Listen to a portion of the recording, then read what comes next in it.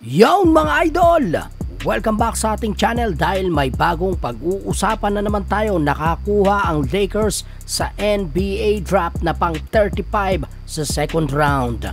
Yes mga idol, ito nga ay nang makabili ang Lakers sa Orlando Magic ng draft pick. Kaya naman ang Orlando ay magkakaroon ng pera at the same time mayroon pa silang 2028 first round draft pick na galing sa Lakers. Ngunit sino nga ba itong kinuha ng Lakers? Siya si Max Christie, isang 19-year-old 6'4 shooting guard. Naglaro na siya sa FIBA Under-16 para sa Team USA at nanalo ng gold medal.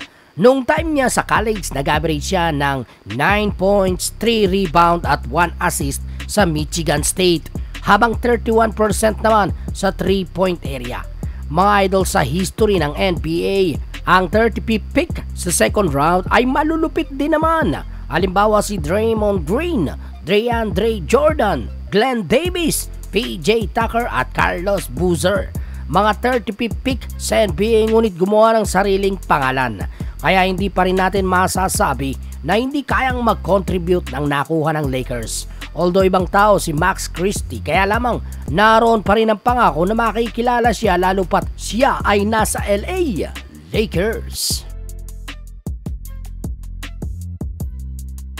At samantala sa ibang balita naman, dalawang anak ng NBA legend ang nakuha ng Lakers sa katatapos lamang na NBA draft. Matapos nga na walang kumuha sa NBA at maging undrafted itong dalawang ito, si Sharif O'Neal at Scottie Pippen Jr. ay agad nang pinapirma ng two-way contract ng LA Lakers. Kaya sa ngayon nasa Lakers na si Sharif at Scottie ngunit hindi pa ito nangangahulugan na makakasama sila sa roster dahil kailangan nilang makipagtagisan sa iba para lamang makapasok sa 15-man lineup ng Lakers.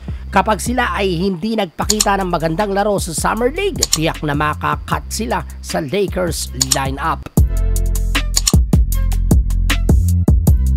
At samantala sa ibang balita naman para sa Portland Trail Blazers, nasa kanila na si Jeremy Grant Ayon sa report ni Adrian Wojnarowski ng ESPN, nakuha na ng Portland si Jeremy Grant at isang second round draft pick. Mga draft picks naman ang nakuha ng Detroit Pistons. Sa trade na ito mga idol lumalabas panalo ang Portland dahil walang duda nakuha nila ang gusto at kailangan nila. Magaling sa depensa at magaling sa opensa itong si Jeremy Grant. Kaya pabor na pabor ang trade na ito para sa Portland. Ngunit bago pa makuha ng Portland si Jeremy Grant sa Detroit Pistons, alam nyo bang sinubukan din siyang kuhain ng Lakers?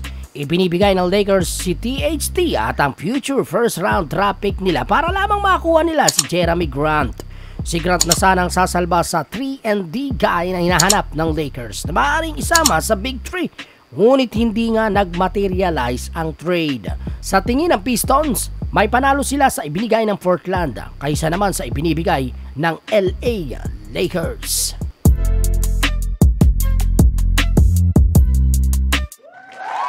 Yo mga idol! Ano ang masasabi mo sa video natin for today? Mag-comment ka lang lamang sa ibaba at mag-subscribe ka na para palagi kang updated ngayong off-season dahil maraming nagaganap na trade o lipatan at para ikaw ang unang makaalam. Pakipalo mo na rin ang ating Facebook page at i-like na rin ito. Ako po si Jan, ito po ang Basketball Talk. Salamat po